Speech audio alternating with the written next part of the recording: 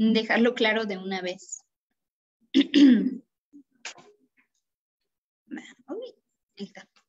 Entonces, ¿cuál es nuestro objetivo en este webinar? Pues el principal objetivo que tengo con esto es que ustedes puedan conocer la eficacia que, que tienen los suplementos o algunos tipos de suplementos para justamente el aumento y mantenimiento de lo que es la masa muscular, principalmente en lo que es el adulto mayor. Que pues por lo regular sí, vemos que hay cierta depresión muscular. Ahorita vamos a ver un poquito más sobre qué, es eso. Entonces, por lo regular, cuando pasan los años, nosotros estamos constantemente cambiando, evolucionando y llega un punto de la vida en el que obviamente existe esta depresión muscular. Es un proceso completamente natural por el que todos vamos a pasar e incluso pasamos aún no siendo un adulto mayor, siendo incluso un joven completamente sano, sin ninguna eh, cuestión de enfermedad, y es completamente natural que haya esta pérdida de masa muscular. Pero ahorita pues nos vamos a enfocar más en lo que es un adulto mayor, que en ocasiones suele ser un poquito más complicado, ¿no? Porque regularmente a partir de los 40 años es que empezamos una cierta pérdida de masa muscular. Entonces, cuando llegamos a los 65 años, todavía le aumentamos un porcentaje más a esa pérdida. A esta pérdida continua, que no solamente es masa muscular, también es fuerza, inclusive hasta el equilibrio también tiene mucho que ver con eso, es la sarcopenia, que esa pues está principalmente eh, relacionada justamente con la depresión y la masa, masa ósea reducida. También hay cierta inflamación de bajo grado, ¿no? En el envejecimiento sí hay cierto proceso inflamatorio un poquito bajo, no es tan elevado. Entonces, esto tiene un efecto negativo justamente sobre el metabolismo proteico muscular y nuestra función de las células. Principalmente también lo que son las células satélite. que son estas células satélite? Son las que están más relacionadas a nivel cognitivo. Por eso también la sarcopenia tiene mucho que ver con la pérdida no solamente de músculo, sino también del equilibrio. También puede suceder y es muy común que, suceda. Entonces, no solamente nos depletamos por llegar a cierta edad, también nos depletamos porque tenemos diferentes condiciones que nos provocan tener esa pérdida de masa muscular.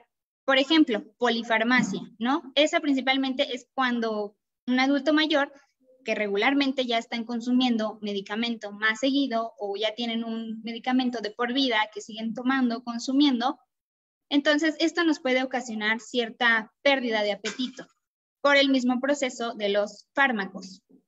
Esa puede ser también una causa. Lo mismo es la soledad. Hay muchas personas, adultos mayores, que regularmente también ya viven solos, eh, entonces a veces les cuesta un poquito adaptarse o no les dan ganas de comer porque están, se sienten, pues sí, eso, solos. Entonces, otra cosa que también nos puede llegar a afectar es la dentadura, ¿no? Hay pacientes, hay adultos mayores que regularmente ya tienen problemas de la dentadura, tanto que no pueden masticar muy bien o que no tienen todos sus dientes. Entonces, por eso, a veces, aunque no nos demos cuenta, esto puede ocasionar que haya una pérdida de apetito, porque justamente no se sienten a gusto con lo que están consumiendo, porque les cuesta mucho trabajo, más que nada y también el acceso a los alimentos. ¿A qué me refiero con el acceso a los alimentos? Hay algunas personas, adultos mayores, que justamente están, ya están jubilados, ¿no?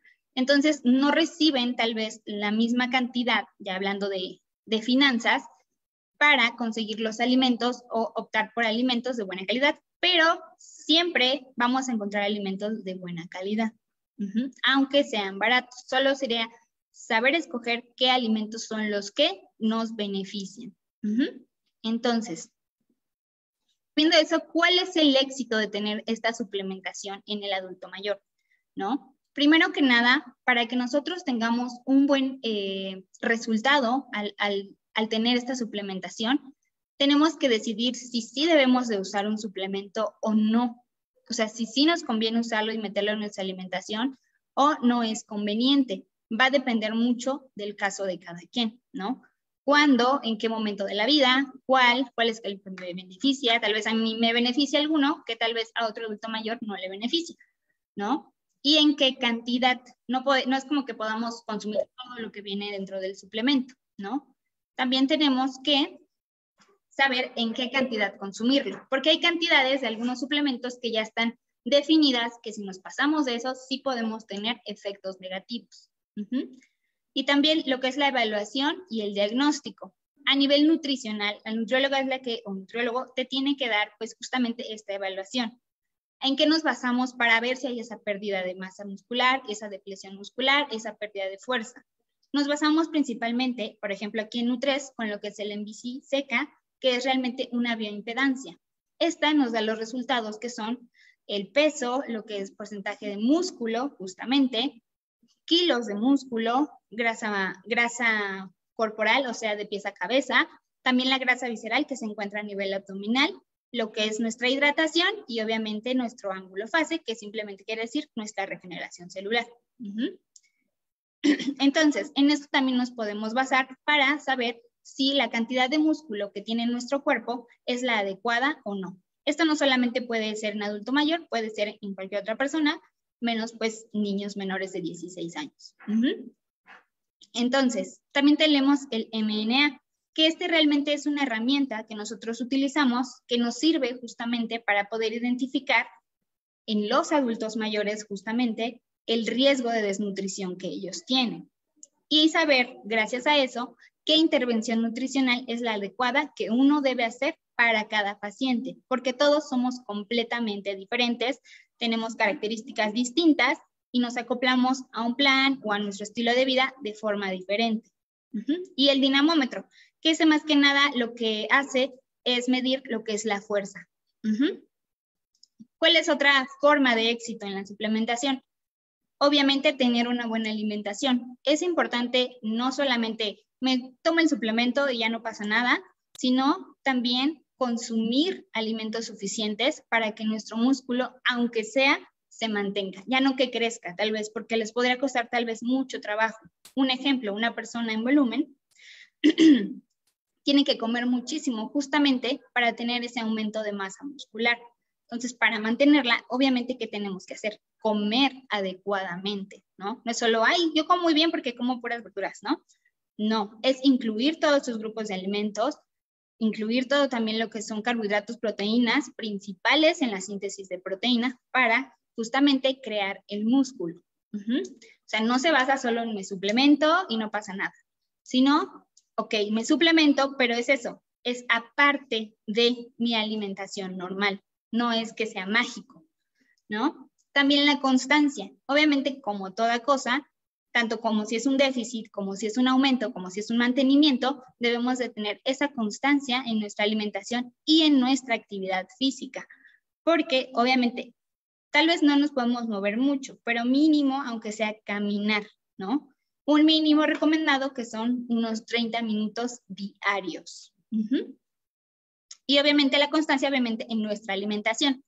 O sea, consumir lo que es suficiente y eso te lo va a indicar tu nutriólogo, que es la cantidad de energía que tú necesitas en un día y la forma de distribución.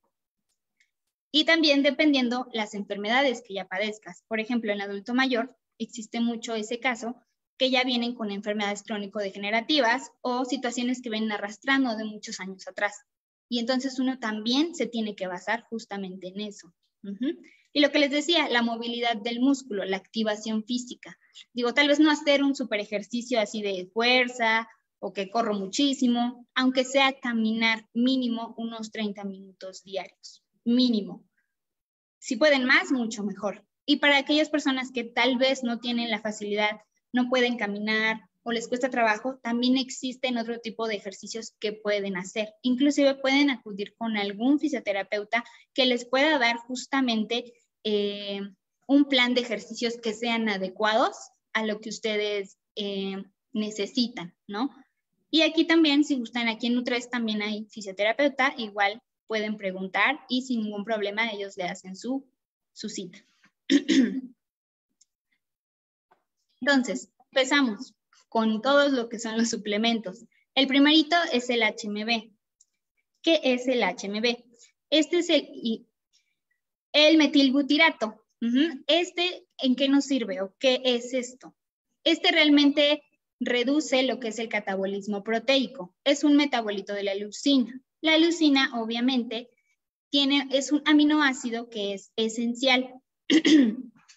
Entonces, nosotros mismos lo podemos producir, pero llega también un momento de la vida en que no es suficiente. Entonces, obviamente, tenemos que consumirlo extra a lo que es normal. También tiene un efecto proteico, protector, perdón, de justamente las células del músculo. Este actúa en lo que son la síntesis de proteínas. También nos detiene lo que es la pérdida de masa muscular. Pero realmente se ha visto que el HMB solamente mantiene. Claro que puede ayudar a aumentar, pero principalmente mantiene. Más que nada en personas que son justamente eso, muy sedentarias. Se han hecho estudios y demás donde justamente personas, un ejemplo, que están en hospital, eh, pueden, lo pueden consumir y eso les ayuda a mantener lo que es la masa muscular y a no perderla tanto. También cuando la ingesta es insuficiente, lo que les decía, hay un punto en, el que no es suficiente para el cuerpo, entra como en un estado justamente de mucho estrés metabólico, entonces necesita más alimento, necesita más de esa leucina entonces, se aplica más que nada cuando la ingesta también es insuficiente. Y hay que usarlo, obviamente, como les decía, con la movilidad. No es que sea magia, no es que actúe solito. Esto realmente nos ayuda cuando hacemos también un poquito de actividad física. La siguiente es la glutamina. Esta igual tiene el mismo efecto, que es la reducción del catabolismo proteico. Y este es un aminoácido no esencial también. ¿Este en qué nos ayuda? ¿Cómo podemos utilizarlo? Este favorece mucho la recuperación muscular, pero este también tiene que estar acompañado de esquemas de ejercicio que sean de fuerza, justamente, y resistencia. Y también en adultos con déficit de fuerza muscular. O sea, este lo pueden consumir aquellos adultos mayores que justamente no tengan esa fuerza. Lo que les decía, todas las características de lo que es la sarcopenia. Pero eso va a depender de cada caso y de cada quien. No es algo que podamos tomar como general. Igual, este nos ayuda mucho en la preservación del intestino, disminuyendo lo que es la, atrofia de las vellosidades justamente del intestino y manteniendo esa función.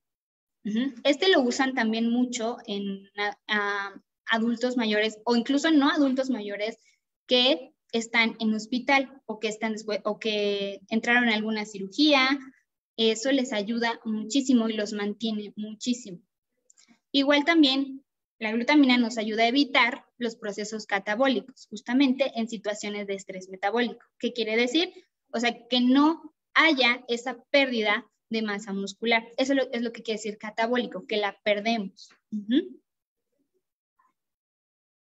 Bien, algunas personas justamente que son sensibles a lo que es el glutamato monosódico tienen, que usarlo con precaución o de preferencia no usarlo.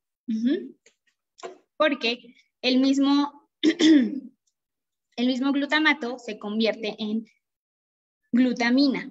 Entonces, estamos hablando prácticamente de casi lo mismo. Entonces, tenemos que tratar, si tú eres una persona que tiene alguna sensibilidad justamente por el glutamato, de preferencia sería que no lo usaras o usarlo con precaución, ¿no? Pero de preferencia creo que sería no usarlo.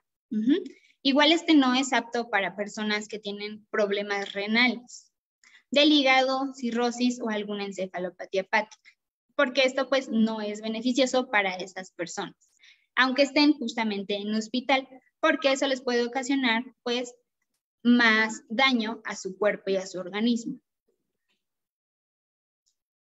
Otro que tenemos que es muy importante, de los que cuales se han visto muchísimos, pero muchísimos eh, estudios, es la creatina. Esta es un ácido orgánico nitrogenado que se encuentra en los músculos y las células nerviosas. Este obviamente, igual que los demás, lo obtenemos de la misma alimentación, pero de este solo se absorbe una poca cantidad. El 65% de esta creatina se encuentra en forma de fosfocreatina. Esta, ¿qué es la fosfocreatina? Esta lo que hace es que repone la demanda de energía o de ATP en el cerebro y en el músculo esquelético directamente. Entonces, ¿esta en qué nos va a ayudar? ¿En qué nos va a beneficiar? Por ejemplo, a la resistencia a la, fatiga. O sea, ¿qué quiere decir? Que hay menos fatiga, menos cansancio. En nos puede dar, ahora sí que más energía, justamente por esta interacción del ATP.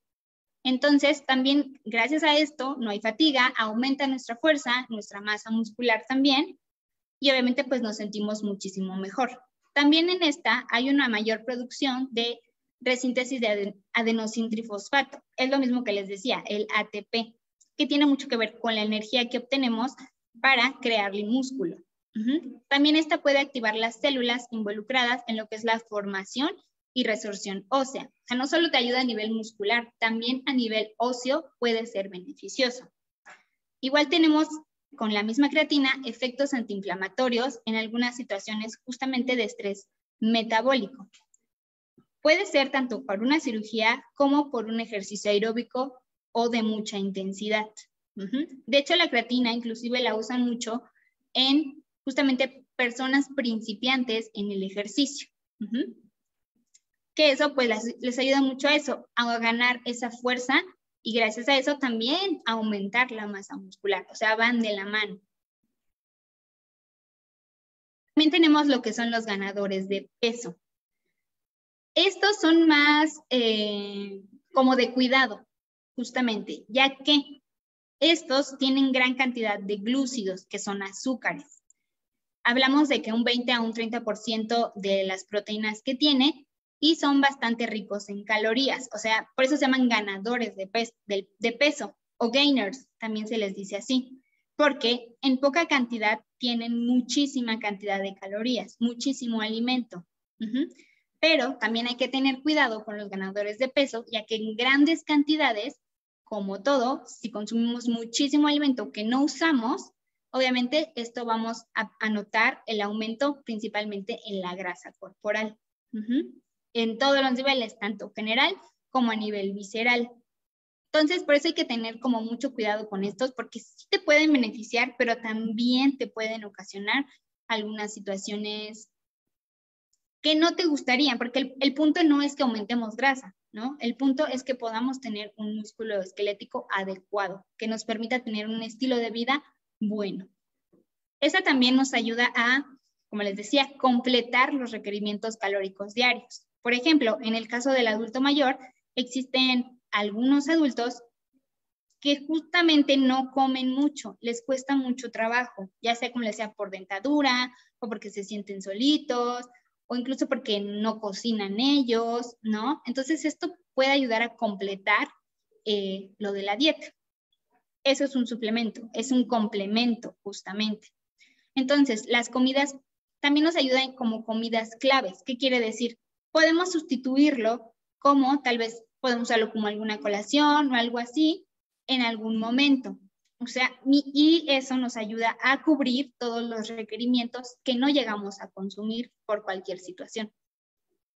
Y esto igual nos ayuda en la reparación y el crecimiento muscular. Por eso son ganadores de peso. No solamente ganas músculo, ¿no? Ganas grasa de alguna forma. Y también es una forma fácil de transportar y usar como reemplazo de comida. Y en caso de las personas que entrenan mucho, en después del entrenamiento.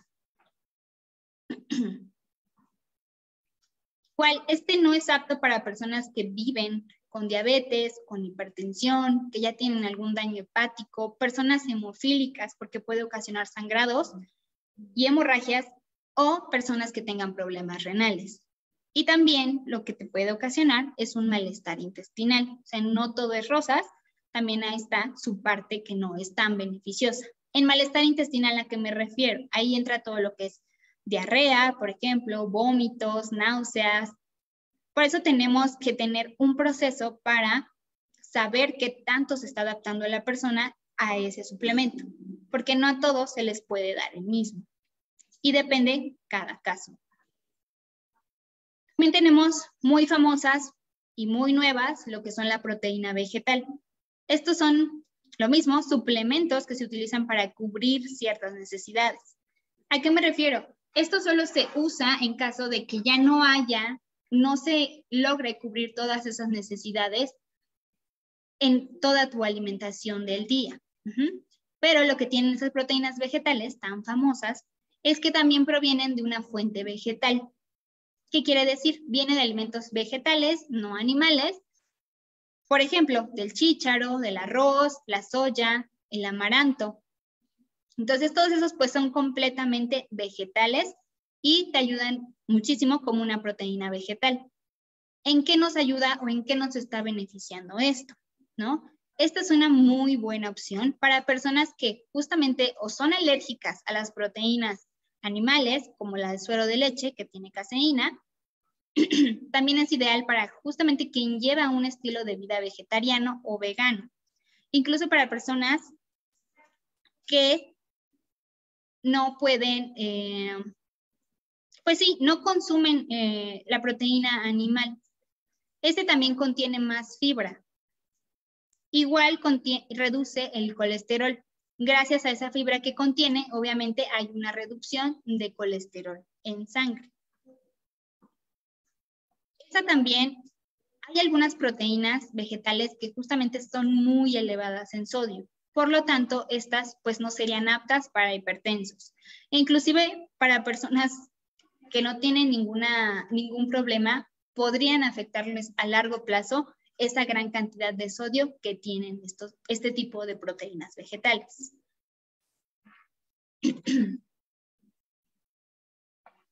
Igual, por último, lo que es la proteína animal. Igual, lo mismo que la vegetal, es el suplemento que cubre las ciertas necesidades lo mismo que la, anterior. Cuando no alcanzamos a cubrir todas nuestras necesidades básicas o toda nuestra proteína para mantener nuestra masa muscular, pues tenemos que optar por consumir una proteína, ya sea animal o vegetal. Pero en, en específico ahorita el animal, las que son muy famosas es que son concentrados de proteína de suero de leche, está la de caseína y la del huevo. Igual, ¿esta en qué nos puede ayudar o beneficiar? nos ayuda mucho en la recuperación de pacientes tras intervenciones quirúrgicas, como varios de los suplementos que hemos mencionado, igual la recuperación en enfermedades crónico-degenerativas.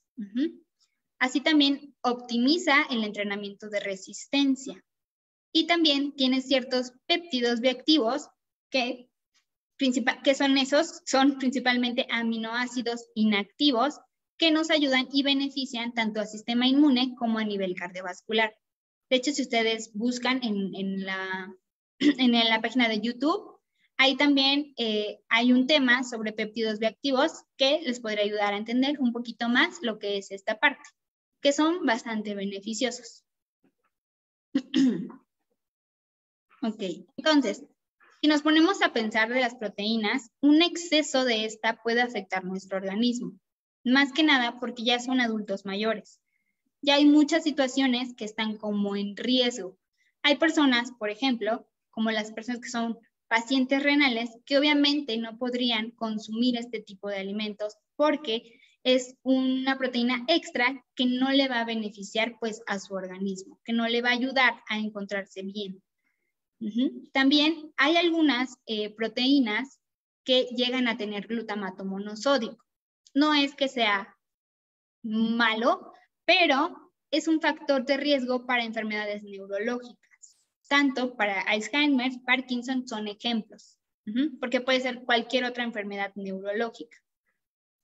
Igual, este tiene como efecto negativo lo que es la fatiga, somnolencias y náuseas. Como es mucho alimento en un solo vasito, en un solo momento, obviamente sí puede caer pesado al organismo.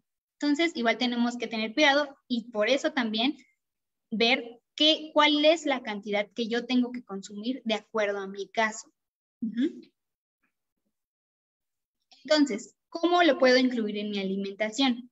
Como les decía, esto depende mucho del caso de cada paciente.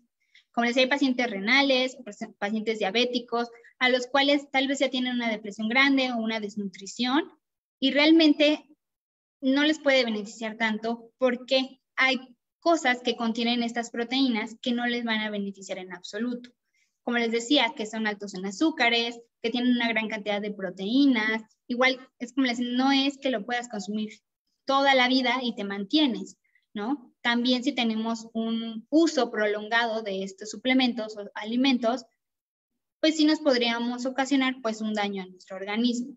Por eso es como opcional a nuestra alimentación normal. Siempre se va a recomendar antes de tener alguna suplementación que tengamos nuestro plan completamente personalizado, porque cada caso es completamente diferente, cada caso tiene enfermedades distintas y nos acoplamos diferente a las cosas y nuestro estilo de vida también es diferente. No todos hacen ejercicio, no todos se mueven, no todos viven con alguien que los puede estar vigilando.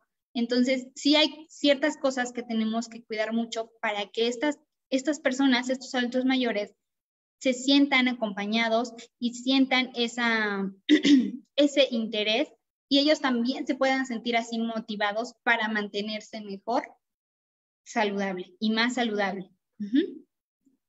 Lo que siempre les voy a recomendar es que acudan con su nutróloga, en este caso nutróloga Nutres, igual nutrólogo puede ser, para que los pueda orientar lo mejor posible y puedan tomar la mejor decisión en conjunto para ver cuál sería el suplemento que mejor les beneficiaría a cada uno de ustedes. ¿Tienen alguna duda?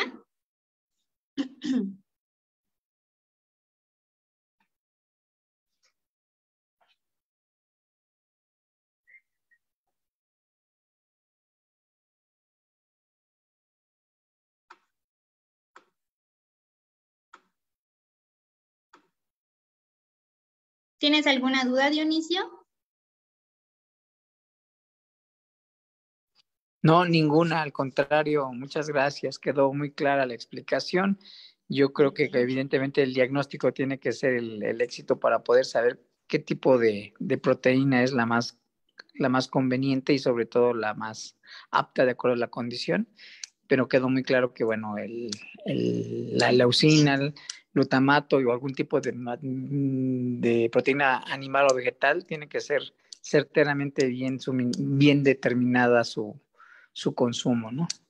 Sí, y tener pues mucha precaución, ¿no? Sobre cuánto tiempo y en qué cantidad lo consumimos y que no son mágicos, ¿no? Que también tenemos que movernos un poquito más.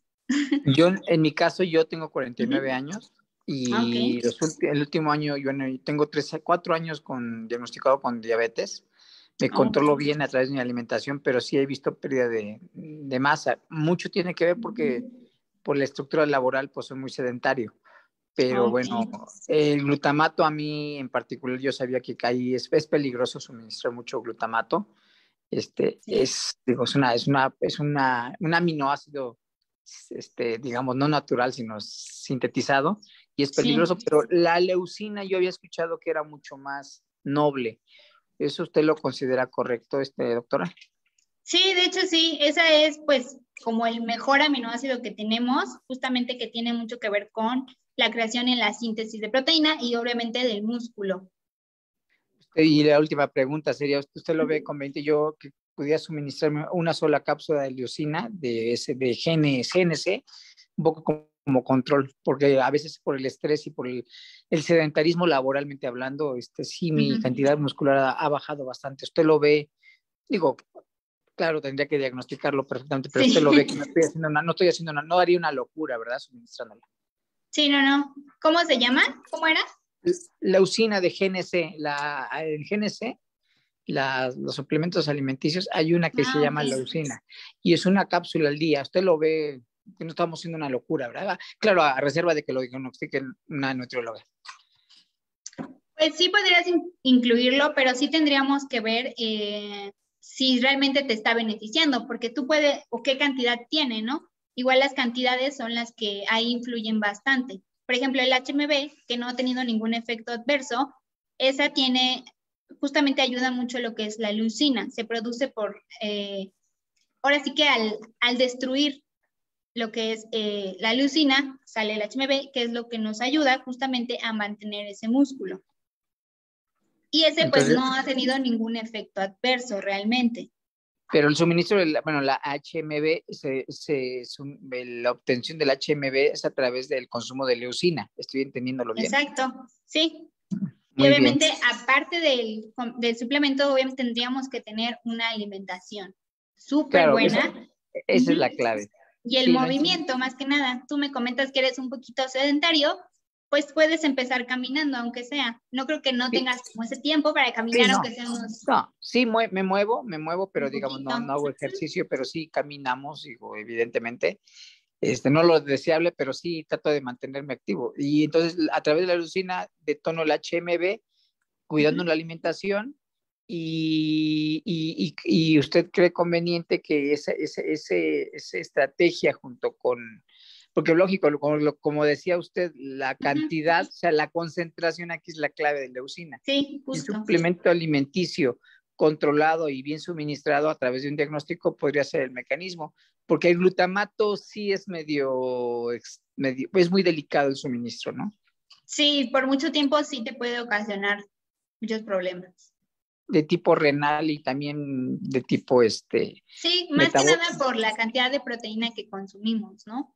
Pero tampoco podemos, por ejemplo, en este caso, el alto mayor, yo le podría indicar que consuma un poquito más de proteínas pero igual va a depender pues de su caso. Y el consumo de un plan de alimentación alto en proteínas, hiperproteico, tampoco es como tan beneficioso llevarlo por tanto tiempo, ¿no? Porque puede tener daño justamente a nivel renal. Y más si ya tienes una enfermedad, justamente, pues sí tienes más probabilidades de que si no, lo, si no lo estás controlando, si no tienes ese control tanto de una cosa como de otra, pues sí puede haber un problema dentro de tu organismo. Pero pues eso ya dependería mucho de muchas cosas. Sí, muy bien. Pues muchas gracias, doctora. Quedó, quedó muy claro. Hoy aprendí algo muy importante, el HMB como un detonante a través de la leucina, pero con responsabilidad y, con balance en, la dieta y sobre todo el ejercicio que es vital. Te agradezco, doctora. Muy buena explicación y excelente, excelente explicación, excelente método propuesto. Gracias, doctora. Muchas gracias, Dionisio. Esperamos verte por aquí, si gustas. Sí, sí, voy a regresar por allá con ustedes, de verdad. Yo soy. Ah, mira, ya habías estado aquí. Sí, pero vamos a regresar, y, pero gracias, a, gracias a, la alimentación me he dado cuenta que mi calidad de vida ha mejorado y estaremos pronto con ustedes y felicidades por el curso. Muy, muy buen curso y gracias. Muchas gracias a ti por conectarte, Dionisio. Gracias y que tenga buena noche, doctora. Gracias. Igualmente, muy bonita noche. Gracias, bye. Hasta luego.